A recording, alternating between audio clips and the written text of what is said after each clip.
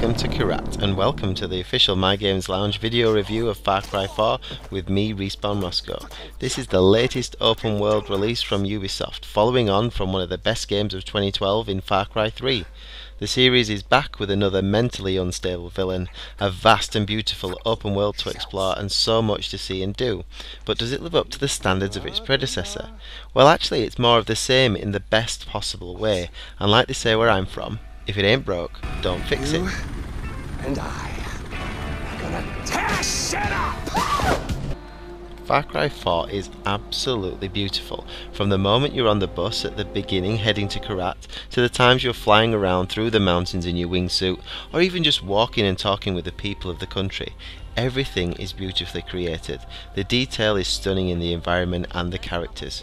Graphically, this game really does jump off your screen. On the PlayStation 4 version I used to review the game, the frame rate remained very consistent throughout my playthrough, with the odd dip during a few of the more explosive moments, otherwise it was very stable.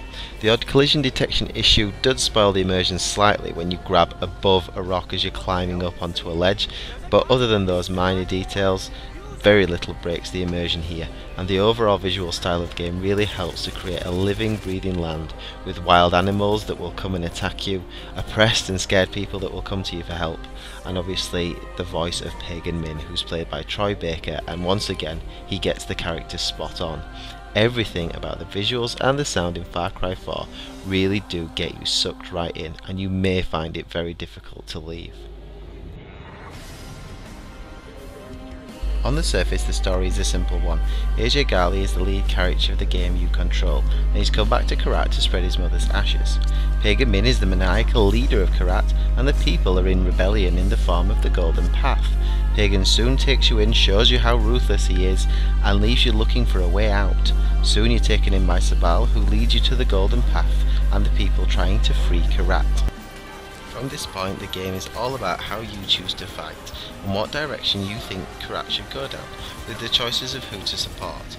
Your rescuing the traditionalist Sabal, or the more realistic Amita who wants Kyrat to thrive, even if it means doing some more underhanded things. As you explore the land, and more of the story, it will take you down the route of seeing Pagan Min's lieutenants. These are across the land, but they're, to be honest, particularly forgettable. They have their moments, but none of them really live up to the quality set by Troy Baker's Pagan Min, who really steals the show as the character.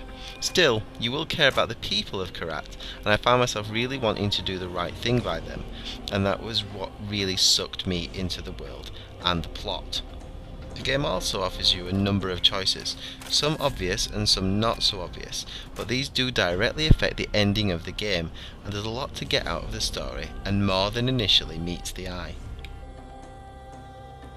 What makes Far Cry 4 really great is the options of gameplay. It employs these in all situations. In combat, you can play the game like a first person shooter, jump on an elephant, ride into battle and shoot your way to victory. Or, you can use a more stealthy approach, take people down quickly and quietly, and avoid setting off alarms and becoming detected. There's also different options with navigation. You can get around the open world and walk, which leaves you open to a few attacks by both soldiers and wild animals, or you can use some of the different vehicles, including a very cool mini helicopter. But there's also the most fun way of getting around for me, and that's to get to the top of the biggest mountain you can and use your wing chute and a parachute. Awesome. As a new addition you also have a grappling hook to climb the large mountainous regions and it comes in very handy if it is a touch awkward to use at times. Open worlds are obviously Ubisoft's thing at the moment, and they have a very good and generally good structure to them. But what works so well for Far Cry 4 is the integration between all of the elements of the game.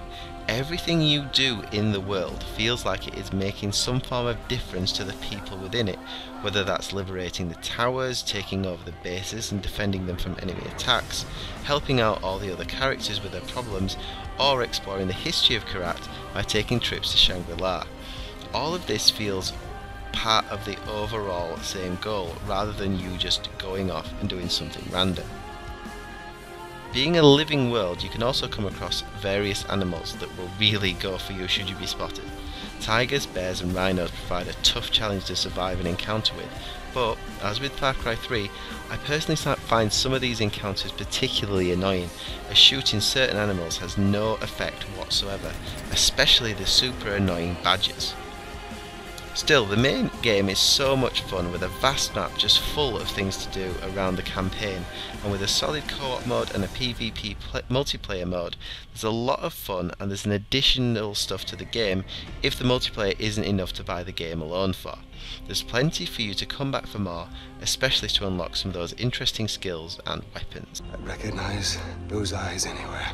So is Far Cry 4 as good as Far Cry 3? Well, it's actually very similar.